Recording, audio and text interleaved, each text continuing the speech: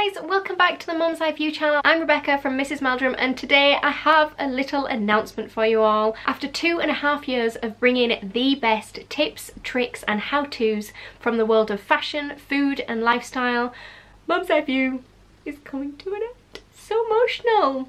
We will no longer be posting any new content but rest assured you can watch all of your favourite videos on this channel so you can catch up on videos that you might have missed. You can use the videos section to browse all those videos from years gone by and there is also lots of links in the description box of our favourite videos.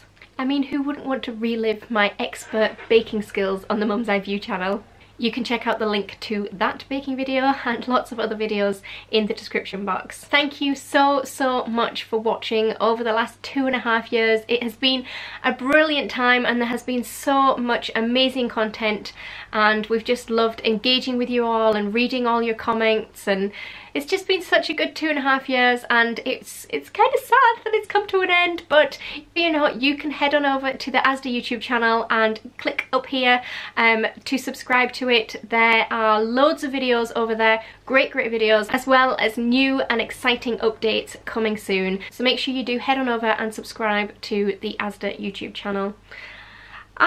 Guess it's farewell from me and everyone on the Mum's Eye View channel. Thank you so much for taking the time to comment and like and share the videos and just being around to watch them. It's been a really, really great two and a half years from all of us. I guess I now need to say goodbye and I hope to see you over on the Asda YouTube channel. Thanks for watching guys. Bye!